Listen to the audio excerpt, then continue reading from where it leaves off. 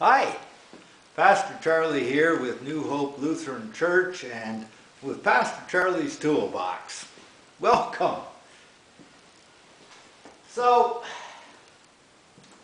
have you ever wondered how people do some really amazing things? Things that make other people wonder, how, how did he do that? Well, today, show you some fascinating things that I've learned to do. And I warn you, they may boggle your mind. Well, at first, anyway. So, one of the problems we have around the shop are nails that are dropped and need to be picked up. And what I'm going to do is I'm going to pick up these nails without even touching them. So, what I do, I wave. I wave my mystical bowl over them and they're picked up. Pretty incredible, eh? Now, the next thing I'm going to do is I'm going to stretch metal with my bare hands. There's some metal here.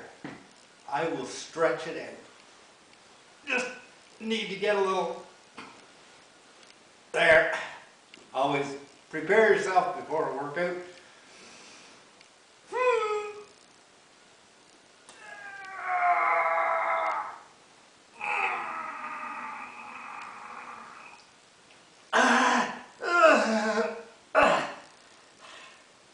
Look at that.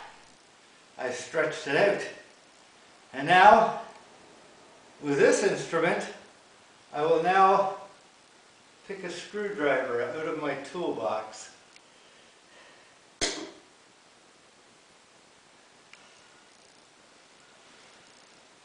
Pretty cool, huh? So, maybe you don't think it's that cool because you probably have some idea of just how I did those things. You know, magnets. Magnets and telescoping metal that folds into itself and comes back out. Question I have for you though is how did you know how I did that? How did you know that? I'll bet. It's because you were very carefully watching what I was doing.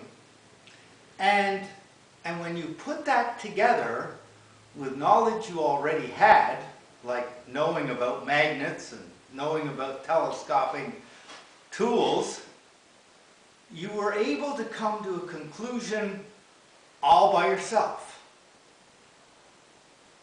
Right? Have you ever thought that as being some kind of superpower? You know, we think Jesus had some incredible powers, which he did, although not every one of them were all that mysterious. Let's take today's lesson, for example, from, from John 1 here we have the story where a disciple of Jesus named Philip did what, well, what we're all supposed to be doing, and he told a friend about Jesus. And when Jesus met this friend, whose name was Nathaniel, for the very first time, I might add, Jesus said to him, Now this person, this person is a real Israelite with not a false bone in his body he's a really good guy. Well, Nathaniel was pretty impressed, and he wondered, how could Jesus know such a thing? And he asked Jesus, so Jesus told him how. Days before, Jesus had observed Nathaniel under a tree, and I suspect came to this conclusion just by watching how Nathaniel acted, what he did, and perhaps what Jesus overheard him saying. You know, you can learn a lot just by watching someone carefully. You find out a lot about them. And the thing is, Jesus did that by using his powers of observation. He took the time to notice people around him, and by doing that, was able to come to some conclusions about that. And you know what? We too have that kind of power. But unfortunately, most of the time we can't be bothered to use it.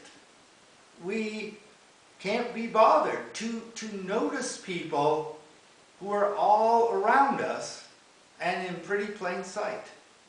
But the thing is, if we really look, if we really take the time and make the effort, we will find that we also have at least some of that same power, the power of observation that Jesus had. We can tell if someone's sad, right? We can tell. We can usually notice if something is troubling someone. And, and like Jesus, we can do something about it.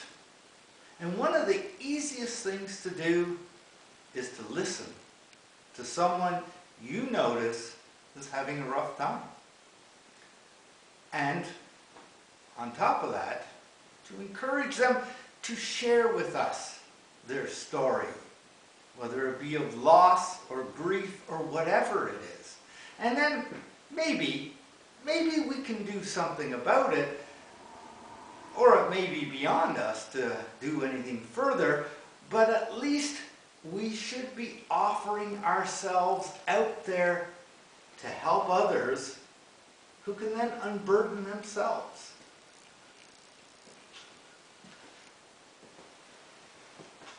So, this week I encourage you to make use of your powers. Take the time to to see the people around you in your life and, and to observe their situation. Don't, don't hide such powers away because God meant for each of us to not only make use of those powers, but also to make good use of them.